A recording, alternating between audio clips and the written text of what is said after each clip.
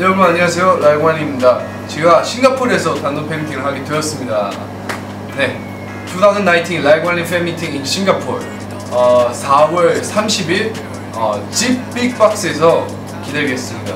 여러분 많이 보러 와주세요. 감사합니다. 라이관린과 함께 팬미팅을 즐거워했습니다. Like a big shiny star. Star is more 나 같은 놈이 여기 있는데 자꾸 어디를 둘러봐. 용서남 그리고 부끄러봤자 제비나는 여기.